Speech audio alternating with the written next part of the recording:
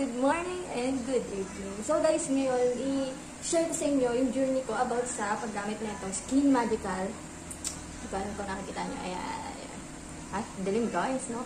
Skin Magical Purifying Acne Clearing Foaming Wash. And then, yung active ingredients niya is purified water, tapos may mga basta, pang scrub siya sa, sa face. So guys, i-share ko sa inyo yung mga clips nung mga time na ginagamit ko siya. Ginagamit ko siya every morning, after maligo, and then evening bago matulog. So, ano ba to? Ito, cleansing siya sa, pang-cleanse siya sa face. Meron siyang silicone type of brush para sa pang-scrub ng face.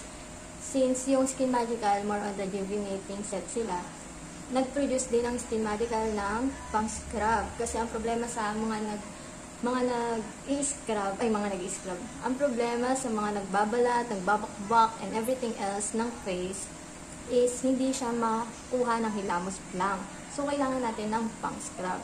Which is, okay din tong pang-scrub na to kasi as you can see, silicone siya. So, hindi siya masyadong harsh sa face natin. So, magbibigay ako ng dalawang clip kasi hindi ko na nagamit, hindi ko na siya na-film, pero nagamit ko to ng 15 days or more more than 15 days. So, ano ba mga nangyari sa face ko? Balikan muna natin ang mga clip. Paswa! Hi, beloved! Welcome back to my YouTube channel. For today's video, i-review natin yung i-review natin itong Skin Magical Purifying and Acne Cream Foaming Wash. Yan. Tapos, meron na siyang brush na naka-attach doon. Yung brush niya, yung bristle ng brush niya is silicone type. Yan. And super lambot and hindi siya irritable sa ating balat. So, ito yung day 1 na pagre-review natin. Direction ng foaming wash. I-wet daw natin ang face natin gamit yung lukewarm water. Pero, ginamit ko na lang yung galing sa faucet. Yan. Tapos, push mo lang. Ganyan. 1, 2, 3. Yan lumabas na. Tsaka ko siya i-brush ang face mo. Siguro okay na lang 3 minutes itong binabrush. Pero, ayun. Meron pa na siyang tea tree oil. Alam niyo ba yung tea tree oil is na maganda yun sa balat natin kasi nakakapag nakakapag-dry yun ng ano natin, ng active na pimples. Tapos may glycerin din yun may glycerin din yung ingredients nito, which is okay para i-treat naman yung nakapagpabanat din kasi yung glycerin nakapagbanat ng balat. Tapos meron din tong niacinamide, which is prepared ko sa lahat ng ingredients ng skincare because yung niacinamide is okay siya sa mga acne-prone skin, ganyan. Tapos, lalo na sa mga pores yun, okay yung niacinamide niya. Ayan. Pinapaabot ko dito kasi sabi nila, nakaka-whitening din daw to. Eh kung, ay, nakaka-brighten daw ng skin. So, kung bright yung skin ko sa face ko, tapos hindi bright yung skin ko sa neck, will result as magiging maliwanag na buwan ako, gano'n. Kaya kailangan, kailangan pantay yung neck at saka yung ating face ang may titiri oil talaga siya, guys. Tapos, what I do is, syempre, pagtapos kong panlawan yung face ko, dinapalawan ko din itong bristle. Kasi dyan nakapit na lahat. Okay na siya, okay na. So, yun guys, um, nalawan ko lang yung bristle.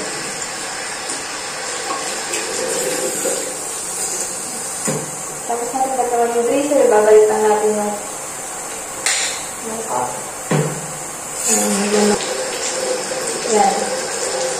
Ganyan ang ating face ng, ng red. Yan.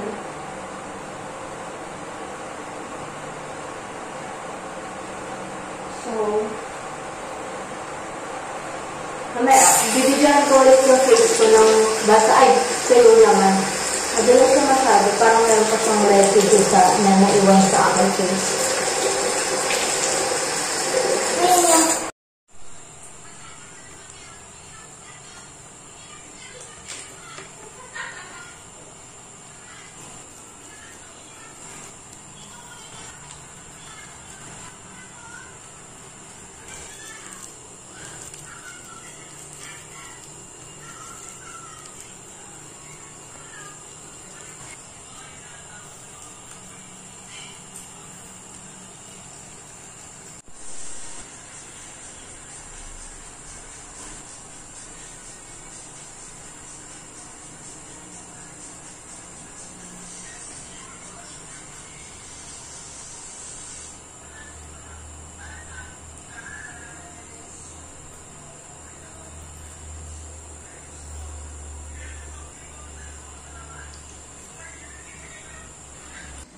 So, as you can see guys, nakita nyo na mga clips. Dalawang clip lang yon na nag-film ako. Actually, evening yun kasi nag-work ako. So, nakita nyo na may mga marks ako doon. And ano ba nangyari sa mga marks ko na yon? So, ito kasi yung Skin Magical Purifying Acne Clearing Foaming Wash. Ang main ingredients niya talaga at saka ang na-aamoy ko talaga sa kanya is yung tea tree oil. Ano ba nagagawa ng tea tree oil sa ating mga acne, prone, face, and skin? So, ang tea tree oil ay nakakatulong sa atin para mag-dry or map mapabilis ang pagdadry ng ating mga chismis sa face. As you can see, dry na dry na ang chismis sa face ko at wala na. Yung mga dating clips na yon ay nagkatagawat ako kaya nag-invest talaga ako dry ng ganito.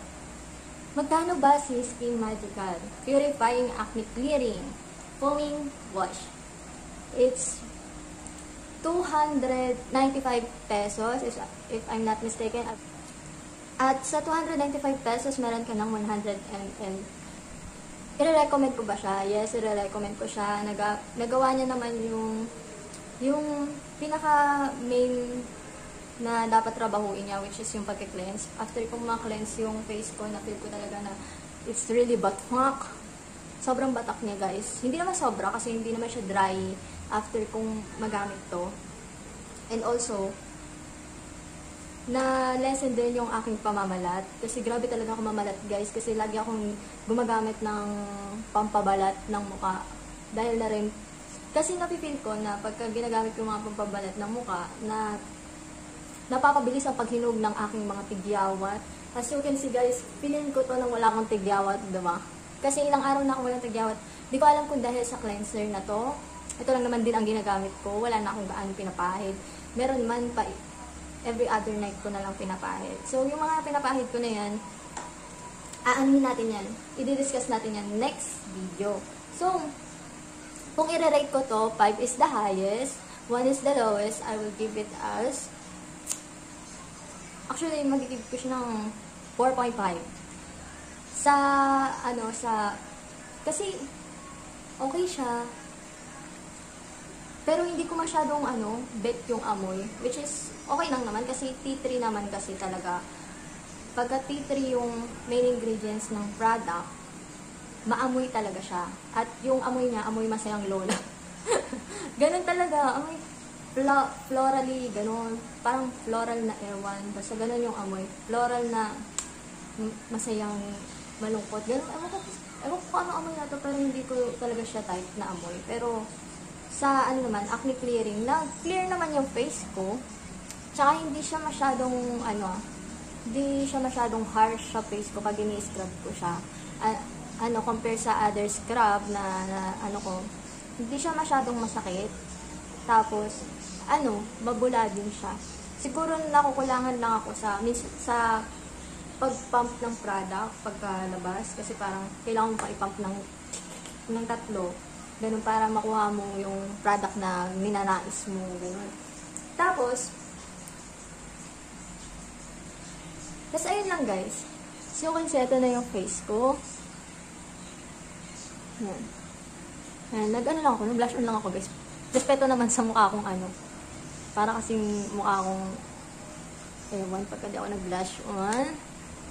Pero, natutuyo talaga. 3 to 4 days yata. Or 2 to 3 days habang ginagamit ko ito, natutuyo ang aking mga tigyawats. Tapos, balik naman tayo sa, ano, sa mga, ano ko, meron kasi akong problema dito sa ilong ko, which is yung blackheads. Natatanggal din naman yung blackheads, pero hindi ganun kalinis. Siyempre, tsaka, ano, moderate lang, hindi ko masyadong binababad, or hindi ko masyadong ni-scrub ng todong ganyan-ganyan. Kasi, baka magka-wrinkles ang ating face, ganun, and, ano, baka ma-irritate lang yung face ko. Ganun. Moderate use lang guys and syempre, kailangan lang natin i-control. I will recommend this guys. You should try this. Ito. Kasi, nakita ko yung ano yung result sa akin. So, you should try this. Pero, try at on your own risk. Kasi, maaaring maaring hiyang ako dito at gumagana to sa akin at maganda yung result sa akin at po pwede namang hindi kayo hiyang dito at pumangit ang results sa inyo. Tandaan nyo guys na ang mga skin anik-anik or yung mga pang ano natin, yung pampaganda natin ay minsan hindi rin tama na nakikinig tayo sa iba. Kailangan i-try natin sa sarili natin dahil hiyangan lang yan, guys. So, kung hiyang ako dito, you should try this. Ang skin skin type ko pala is mostly yung skin, yung face ko is oily. And medyo nabawasan yung pagka-oily ko nung ginagamit ko to. Hindi na ako nagbablat or anything na ina-apply. Nabawasan din siya. So, yun guys. Paalala na ang lahat ng product na inire-recommend ko ay maaaring gumagana sa akin, nagiging effective sa akin, at maaaring hindi sa inyo effective. Try at on your own this. And yun lang guys. Hope, hope you like this video. Just give thumbs up and subscribe to my YouTube channel. Hello to my new subscriber. Yun guys, marami nang nanonood sa atin at marami ng mga chikanes na naririnig ko dyan. So, comment down below kung ano pa ang gusto nyong itry ko, lalo na sa mga oily face na katulad ko and acne prone skin.